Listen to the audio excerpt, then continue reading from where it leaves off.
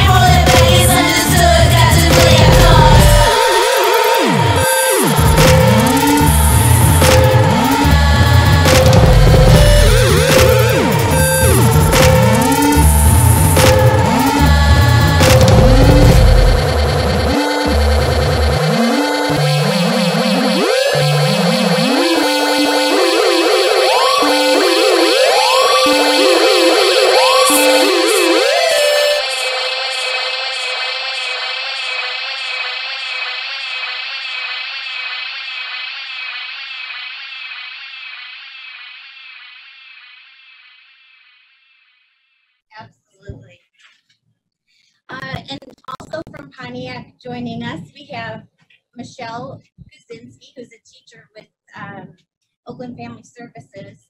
And she has brought our great friend Ethan with her.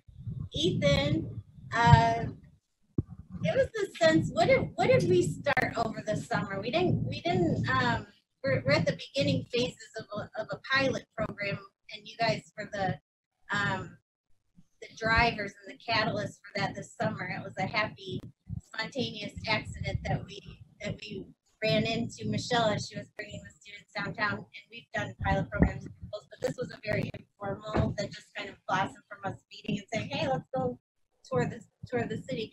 Ethan, tell tell us what we did over the summer and, and what your thoughts are.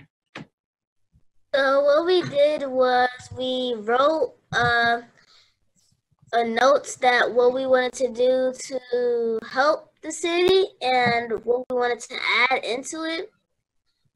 And we put it on these boards, and then one of them said future, past, and present. So, and we came up with ideas to um, make everything useful, not just say, I don't want it and just throw it away we uh, made something new in life and we helped it.